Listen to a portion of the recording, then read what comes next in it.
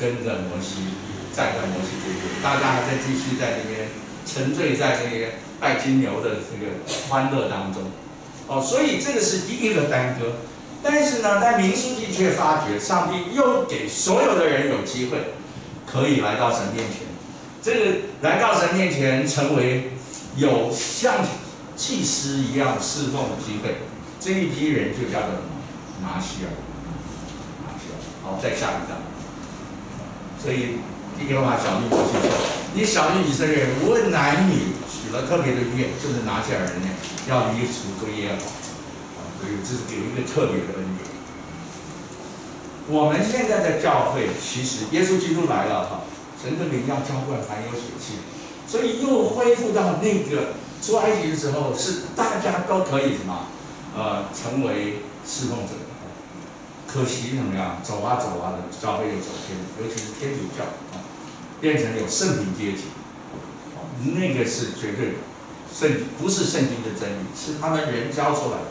所以马丁路德在五百多年前呢，他就他就什么样？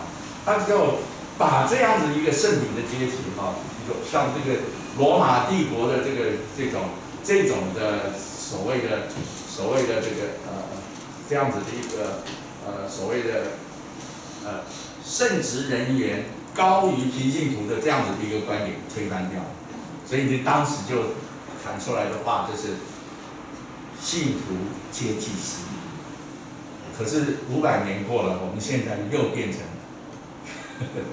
有有五重执事的教会，这个不可以，不是五重执事，是什么？五种恩赐，而且是圣灵随己意把五五种恩赐赐给我们，因为耶稣升上高天，掳掠仇敌，将各样的恩赐赐给我们，他所赐的有使徒，有先知。有传福呃有牧师有哎对不起使徒先知传福音的牧师和教师嘛，都要成全圣徒，各尽其职，建立基督圣徒。所以这个是很可惜的一个一个错误的教导，结果又大家都偏离。其实每一位弟兄姐妹们都有那个资格成为祭司，成为圣灵的，每一个人都是的，不然彼得前书第二章第九节就白白念，对不对？我刚刚已经背过一次了。唯有我们是被拣选的族类，是有君尊的祭司，是圣洁的国度，是属神的子民。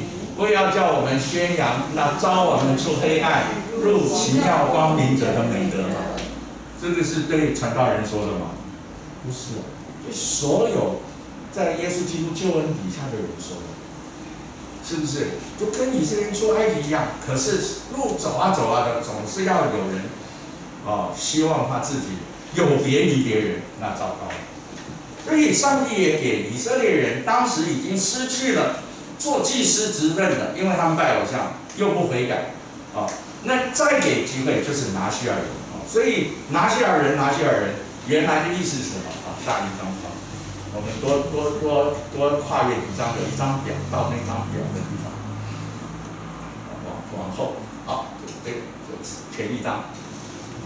拿西尔这个字很有趣哈，这个字的动词哈，三个字跟三个 radical 的，是一般希伯来文的动词，而且它的它的它的这个母音是两个 a 啊，就是说任何一个大概这百分之八十的动词都是啊，比方说上帝创造叫 bara 那个啊啊啊，这个是叫做 nazar 啊，就是啊啊这个是动词，意思就分别出来。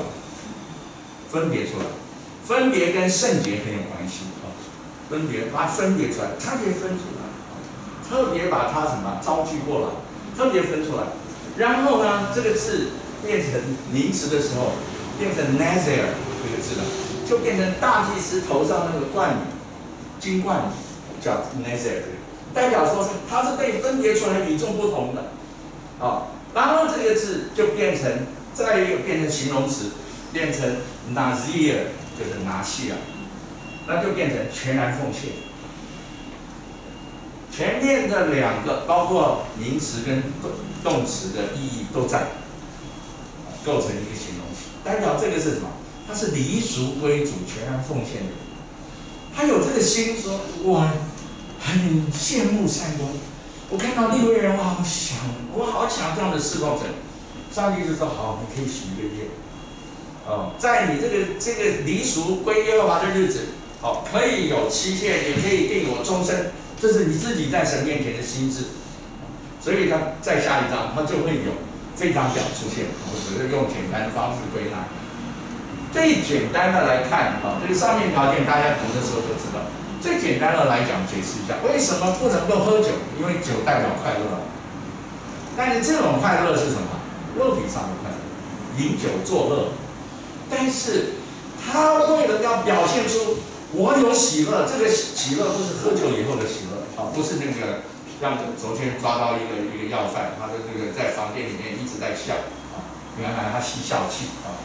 他不喜乐，所以才吸笑气，对不对？啊，那我们不借着其他的东西让我快乐，那我的快乐从哪里来？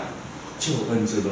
所以这边就可以看到，连与与酒有关的食物我都不碰，因为以色列人哈，在在嗯巴勒斯坦那边，到现在为止哦，他们的甜食不像我们台湾那么丰富。如果大家去过阿拉伯馆的话，哦，或者去以色列。他最多让你带带一包什么蜜枣的椰枣的，哦，那个枣子很甜，对不对？还有什么东西？瓜类的，还有什么？我们的水果满街都是。现在还有人怎么样？他这个水果太甜了，不是所有的你想象得到的水果都非常甜啊。以前拔辣怎么甜？我们小时候吃的拔辣哪一个是甜？只是香味强一点，对不对？就是酸酸。也不是很酸，有点，然后没有甜，没有糖类的，是不是？这个甜的水果大概是呃龙眼，是不是？哦，芭辣也不甜的，是不是？而且还很硬，因为馋嘛，还没有熟就吃了，而且小。但是现在所有的水果，台湾生产的水果都很甜，而且我们本地产，我们的农事所太了不起，所有的水果都都可以，一年四季还吃得到。巴勒斯坦不行，他们的水果甜食的来源很少，大概十种左右，十个手指头可能还可以有剩，那包含葡萄，所以这些的是当时认为快乐的事情，但是这一批人表现出他的什么意愿，他的意志力，就是愿意把这个世上的快乐放下，啊，呃，拒绝最终之乐。而且呢，单单以神为乐，所以我们称之为叫简朴，不用这些奢侈品让自己觉得每一天过得有滋滋的。然后再来就是顺服不剃头发，让他们编这个把头发为了要整洁，就把头发编起来，这个有发链啊，就是编辫子。那到现在为止，以色列还有这种人，他们叫哈希基，他们他们头发是他们会剃，但是。鬓角不剃，所以鬓角这边啊绑辫子，所以这些人都是从这样子的传统里面。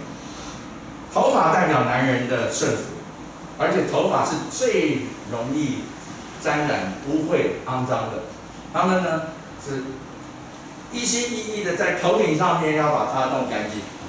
所以刚才也读了，大家会有点怀疑就是，哎，这些人哈好像沾了尸尸体了。那就要什么呀？把头发给剃了，对不对？因为他沾了罪恶，因为尸体第第三个是代表什么？罪恶，所以就再来一次。如果不幸遇到了是这个尸体包括什么？一只壁虎走走走，哎，死掉了，掉下来掉你头上，头发就要重剃掉，再来一次。之前所。所所呃过的时间呢哈都不算归零，再来一次。那你还俗，等一下会看到还俗，哦，这个所以拿亚人生活是在神面前的简朴、顺服跟圣洁，是这样的。哦，再下一趟，还俗的时候，拿亚尔生活还俗了，啊，就是他的跟上帝约定的时间啊结束，他回去工作了，啊。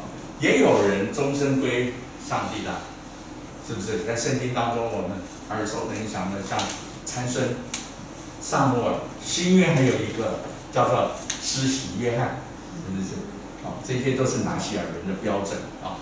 呃，参生不标准啊，那但是那个萨摩尔跟什么呃，施洗约翰是非常标准啊。他他们这个这边讲的这个例子哈，是指许愿结束了，但是向神奉献没有结束啊，因为这是一辈子的事啊。所以他们因为现实的关系，我还要回到呃工作岗位啊，所以他们为追求能够继续过圣洁的生活，先要献赎罪祭。哎，所有的人在神面前都是罪人，然后献燔祭，代表我愿意整个的生命归给神，愿意献平安祭，我愿意继续跟神和好，跟人和好。啊这些，然后数据是我一般的我们所说的收入，这样子讲好啊，就是我们现在的教会叫它什么数据啊，因为数据初始的物嘛，对不对？就是你在农产品的这个这个一收获的第一第一呃第一批的收获，对不对？啊，叫初始的技术，对线上数据。那现在叫做什么？十一奉献，是不是？或者是暗夜奉献，所以这个都跑跑一趟的意思是什么？再一次在神面前说，我还是属于你的，真正的所有权还是你，我只有今生的使用权。感谢你，我还是拿西尔人，我还是离俗归神。哦，所以再再的显示出这个人在神神面前那个。不是出于勉强，乃是出于甘心；不是出于贪财啊，做做传道人可能奉献多一点，是不是啊？那绝对不会是难搞，是不是？我们天道会不会发这个传道人的薪水那么高，所以大概传道人很难请。但是大教会呢，说不定大家抢破头的要去啊。美国的祭司呢，也是抢破头要去，还要自己带什么？带这个买官的钱呢？但是真正的不是因为出于贪财，乃是出于乐意，也不是做了祭司就可以止于去死，在在发号施令，不是，不是侠志所托付的，乃是做纯阳的榜样。所以拿西尔人的这个这样子的一个